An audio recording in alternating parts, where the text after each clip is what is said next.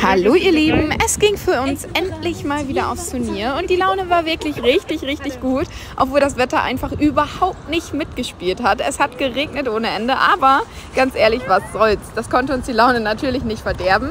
Beim Abreiten war Bella auch richtig schön locker, auch hier beim Abspringen echt mega. Und dann ging es auch schon los. Wir sind ein M1 Sterne Zeitspringen geritten und hier auch der Ochser. Ja, das war einfach ein abnormales Gefühl. Sie ist einfach nur geflogen. Und hier auch die Linie. Wir konnten den Ochser richtig gut treffen und dann linksrum weiter die enge Wendung.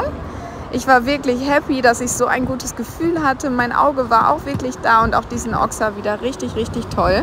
Die Kombination, danach ging es dann nochmal eng rechts rum und dann hinten den Schlussochser. Ja, ich war happy ohne Ende.